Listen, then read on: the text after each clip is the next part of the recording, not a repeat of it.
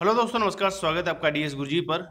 General science daily practice questions मात्र 10 minute की तैयारी से परीक्षा में जीएस के सभी प्रश्नों के हल होने की गारंटी हम लेते हैं। पहला प्रश्न यहाँ पर है, रासायनिक प्रक्रम जिसमें पदार्थ ऑक्सीजन से अभिक्रिया कर उष्मा देता है। दोस्तों, सीधी सी बात है, कोई भी पदार्थ, ये ले लेते हैं, अपन ये पदार्थ है। इसमें क्या डाला अपन ने ओ और क्या किया? जलाया इसको। जलाते हैं, ऊपर का साइन आता है तो उससे क्या कहते हैं? दोस्तों, उसे दहन ही तो कहते हैं। किसी भी चीज़ का दहन हम करेंगे, जैसे मान लो कार्बन है, कार्बन के साथ O2 देंगे गर्म करेंगे तो क्या बनेगा अपने पास? बनेगा ना CO2 तो CO2 अपने पास क्या होता है? धुआँ, कार्बन डाइऑक्साइड हम इसको कहते हैं।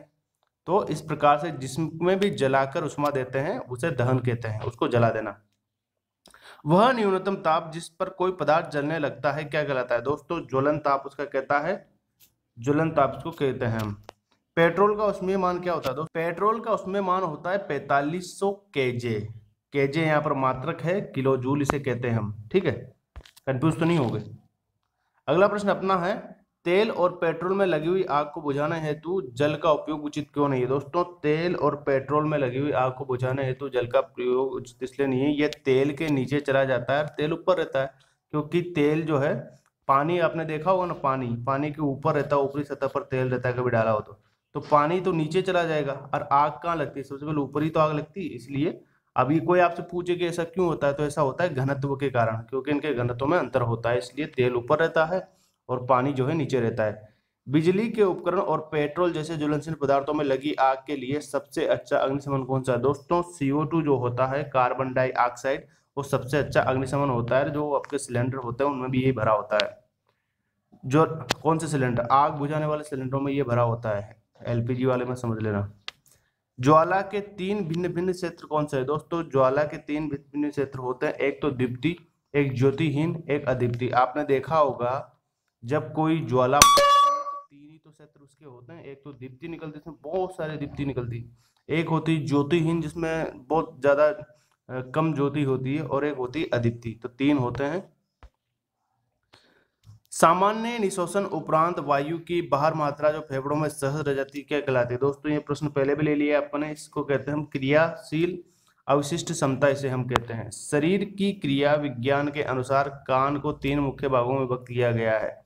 वो कौन कौन से है? दोस्तों, कान के तीन भाग है। पहला अंत्य कान दूसरा मध्य कान तीसरा बाहरी कान। बेसिकली किसी भी चीज़ के तीन ही लेवल अगर अपन डिसाइड करते थे एक ही होता है प्रथम, मध्यम और अंत। तीन ही तो लेवल होते हैं, इसी प्रकार कान को भी तीन भागों में, अंत, मध्य और बाहरी। एक तो बहुत आंतरिक पार्ट जिसमें आपको बहुत अंदर का जो पे ग्रहण, ग्राही क्षमता होती है, वो करते हैं। एक मध्य कान होता है और एक बाहरी कान होता है, जो आपके बाहर से दिखता है। संभ्रंश, किसे कहते हैं? दोस्तों, संभ्रंश क्या होते हैं? असमान ऊर्जा वाले जो कक्षक होते हैं ना, उन्हें हम संभ्रक कहते हैं। संभ्रंश, नाम याद रखते हैं ना, असमान ऊर्जा वाले ऑर्बिट।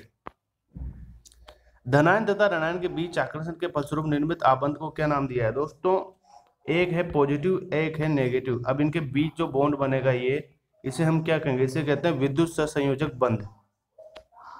किस रासायनिक ठोस के अनमोल यौगिक को गैसीय अवस्था में घटकों, आयनों में पृथक करने के लिए एक आवश्यक ऊर्जा को क्या कहते हैं दोस्तों? किसी भी रासायनिक यौगिक को जैसे मान लो ये रासायनिक यौगिक है अब इसमें हम ऊर्जा देंगे तो मान लो ये दो भागों में टूटेगा तो एक होगा पॉजिटिव एक होगा नेगेटिव ठीक है ना? आप इतना जानते होंगे पॉजिटिव नेगेटिव में टूटता है, कोई भी चीज़ टूटता है। तो इसे क्या कहते हैं? गैसीय अवस्था में आयनों के पृथक पृथक करने के लिए जो होता है ना, गैसीय अवस्था दे देते हैं उसको। तो उसे हम कहते हैं जालक एथेल्पी। क्या कहते हैं? जालक एथेल्पी। यहाँ पे पहला ऑप्शन देखिए आप, आयनिक आबंध दे रखा है। दोस्तों, आयनिक आबंध तो वो होगा जब पॉजिटिव और नेगेटिव के बीच में बंद बनेगा। अब आप कहेंगे, सर, ये तो विद्युत संयोजक बंद बनेगा। दोस्तों, विद्युत संयोजक बंद बनेगा दूसरे तत्वों में जो जहाँ पे विद्युत संयोजकता होती है, इनमें नहीं बनेगा। आयनिक संयोग बंद बनता है प्रश्न अपना है, क्रोड इलेक्ट्रॉन किसे कहते हैं? दोस्तों, पूर्ण रूप से जो भरा होता है ना एक बाह्य कोष बिल्कुल खाली नहीं होता, पूरा भरा होता है, उसे हम क्रोड इलेक्ट्रॉन कहते हैं ये जो है विद्युत का कुचालक होता है, ये पदार्थ जो होता है, इसमें ये होता है। वे इलेक्ट्रॉन जो उच्चतम मुख्य क्वांटम संख्या के इलेक्ट्रिक कोष से भरे जाते हैं, कहलाते हैं। संयोजकता इलेक्ट्रॉन कहते हैं दोस्तों। जैसे उच्चतम मुख्य क्वांटम को, जो होते हैं ना उनकी संयोजकता संयोजकता वगैरह हम कहते हैं। स्पेक्ट्रम किसे कहते हैं? सफ़ेद रंग की किरणों की पट्टियों में फैल जाती है रंगीन बगी सीधी सी बात है, एक प्रिज्म लेते हैं। प्रिज्म या कुछ भी कांच का टुकड़ा ले लो, यहाँ से एक प्रकाश आप डालोगे, फिर ये सात भागों में डिवाइड हो जाएगा। सात भागों में कौन कौन से भाग इसकी ट्रिक होती है V I B H O U R अगला प्रश्न अपना है, किसने सबसे पहले 1870 में आवेशित पिंडों के मध्य अन्योन क्रियाओं और स्थूल स्तर पर विद्युत तथा चुंबकीय बाह्य चुंबकीय क्षेत्रों की व्याख्या की थी? दोस्तों, एक वैज्ञानिक थे जेम्स मैक्सवेल और जेम्स मैक्सवेल की इक्वेशन हम इलेवेंथ में पढ़ते हैं, ट्वेल्थ में पढ़ते हैं और आगे फर्दर कोर्सेज करते तो उनमें पढ़ते हैं। जेम्स मैक्सवेल की इक्वेशन दी थी उन्होंने। जिससे पता किया था कि अन्योन क्रियाओं और स्थूल क्रियाओं में विद्युत चुंबकीय तरंगों का व्यवहार जाना था। विद्युत चुंबकीय तरंग होती है, जो एक चुंबक होती है, जिससे ऐसे ऐसे इलेक्ट्रिक फ़ील्ड निकलता है इस प्रकार से। आपने डायग्राम देखा होगा। तितली के समान ही चीज़ निकलती चीनी के एल्कोहल में परिवर्तन करने की प्रक्रिया को हम किवणन कहते हैं, किवणन। एक्रीलिक क्या है? एक्रीलिक दोस्तों, संश्लेषित रेशा ही एक प्रकार का। कार्बन का लगभग शुद्ध रूप क्या है दोस्तों? कोक जो होता है, कोक। कार्बन का सबसे शुद्ध रूप होता है। डाल्टन ने किस पदार्थ को मूल कण माना था दोस्तों? डाल्टन ने परमाणु को माना था, लेकिन फिर क्या हुआ था कि जो खोजें हुई तो परमाणु के अंदर भी दो अलग पागे आज का अगला और लास्ट प्रश्न एक्स किरणों की खोज किसने की थी दोस्तों? एक्स किरणों की खोज की थी रोनजोन ने। रोनजोन ने की थी विल्हम रोनजोन का नाम है और इन्हें रोनजोन किरणें भी कहा जा सकता है। ये पीडीएफ आप यहाँ से इस बटन पर क्लिक जैसे ही करेंगे, डाउनलोड कर सकते हैं। पूरा इसका पीडीएफ आपको मिल जाएगा। आप घर में भी इसको याद कर सकते हैं, पढ़ सकते हैं। फ़िलहाल के लिए धन्यवाद। बने रहिए गुरु जी के साथ। आज का लेक्चर आपको कैसा लगा? दोस्तों, हमें ज़रूर बताएँ ताकि हम इसमें और ज़्यादा इंप्रूवमेंट कर सके। धन्यवाद।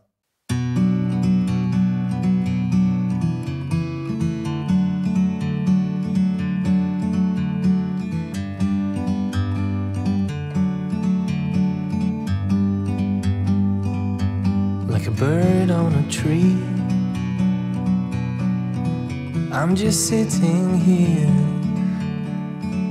I got time.